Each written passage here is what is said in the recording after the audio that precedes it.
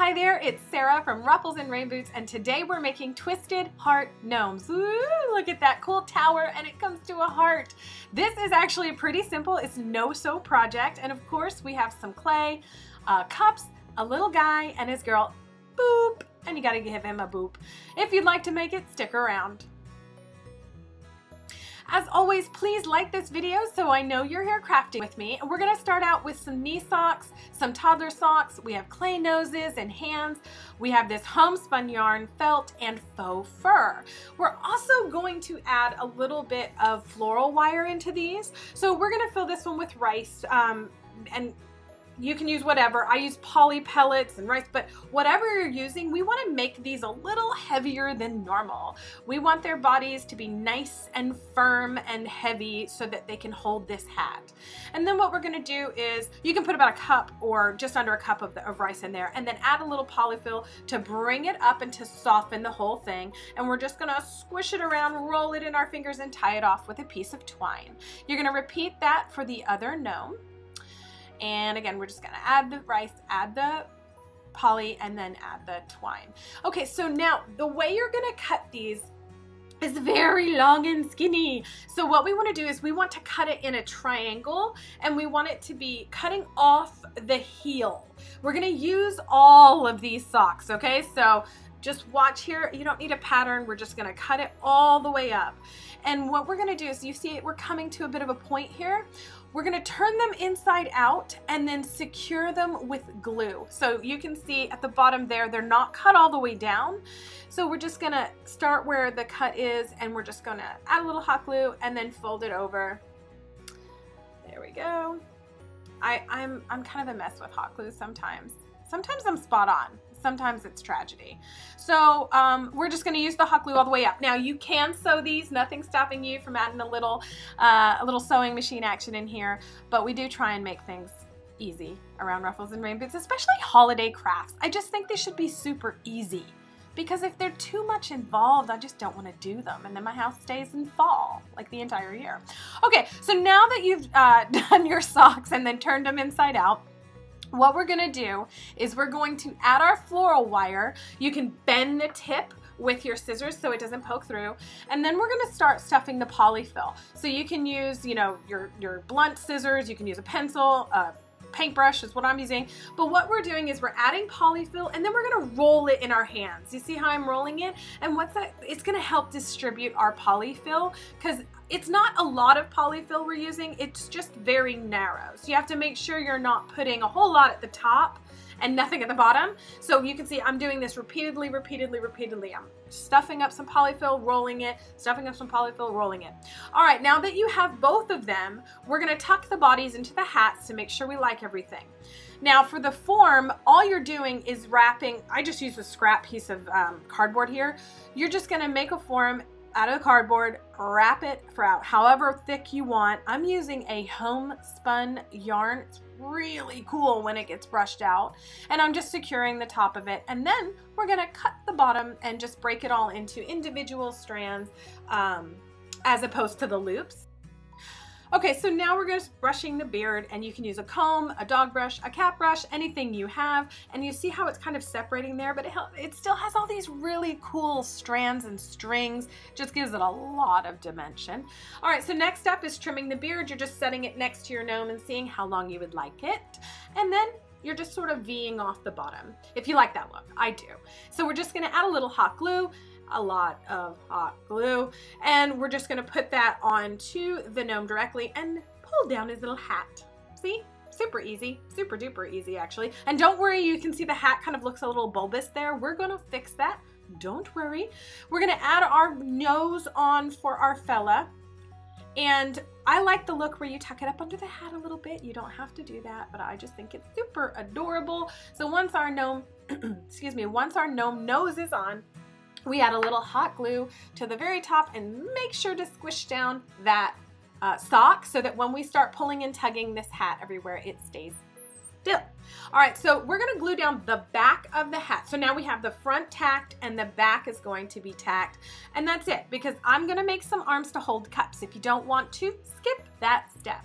Now for the girl, you're just gonna do the same thing, but a little thinner, we're gonna do two times of our same process for our beard. We're gonna wrap it around, tie it off, cut the bottoms, and then brush it out. Brush it, brush it, brush it, brush it, brush it, brush it out. And then we're going to use a clip. If you have a clipboard, which I still can't find mine, it's been like a year. I should probably just buy a new one.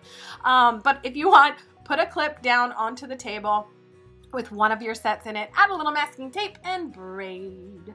That's it. And if you want to make a really narrow braid at the bottom, you can start shaving off and cutting off little pieces uh, of your yarn on the way down. Um, but I just tied it off with a little bit of ribbon that matches my soon-to-be apron and hat. And then I do the same thing at the top. I just, um, the top is a little less important so you don't have to make it look pretty because it's gonna be tucked up under a hat. And we're just going to repeat the process for the braids. And I'm just measuring them to make sure they're, they're pretty similar in style. And then we're just gonna glue it on. So my little gal's braids, I wanted them hanging down onto the table when she's standing up. So I'm just gonna tack a bit of hot glue here and here. Now, I do tack the braids all the way down just because I have dog, kid, and let's just face it, I like to play with these guys. So I like to tack the braids all the way down. just that's me. You don't have to. And we're gonna follow the same step making the nose, um, putting it on, and tacking down the back of the hat and the front of the hat. And now we're using a piece of that sock that we have left over. I told you we're gonna use all of this thing. And I'm just measuring by eyeball how wide I want my little apron to be. See, it's just kind of a little rectangle of fabric. It's not fancy. And now we're gonna do Sarah's glue hemming. I'm so very good at nowadays. Um, again, you can put this onto a sewing machine. The idea still stands. No matter how big your gnomes are or how small your gnomes are, you can follow these exact instructions with felt, with fabric, with socks, whatever you want. Okay, so we're just going to make sure that we've got it on oh, the right size to the body. And now we're going to make the little um, straps. So we're just making teeny tiny little straps and I'm gonna cut off one end to make it look pretty and just measuring the length here. And then we're gonna do it for the second little piece. Again, these are tiny little scraps. You can see maybe an inch or two. Um, you don't need a lot. But I'm going to put the apron uh, straps over top because I wanted a little bit of um, accoutrement, so to speak, with some embellishments. I got these little teeny tiny roses at the craft store and I've had them forever well, now I know what I'm doing with them. So I just put them on there and now it's time to make our mugs. You can skip this, you can buy these off Etsy, um, but you're just rolling a log. We used white glitter clay. You can use whatever color you want. We made a marshmallow shape about an inch-ish big. And then we copied that same design and rolled out another uh, snake, a pretty thick snake, but inside the size of our mug. So that'll be our red hot cocoa. Cause it's Valentine's Day. What else would one drink? Um, okay, so now we're going to roll two different snakes. The first is going to be a snake that we squish down like this because it's going to be our brim of our cup. So we're just making sure it's even-ish, squishing it down, and then we're just gonna put it onto our cup, cut it off there, and now you're gonna roll it just to make sure it adheres everywhere. And then we're gonna just make sure that indentation is shown again.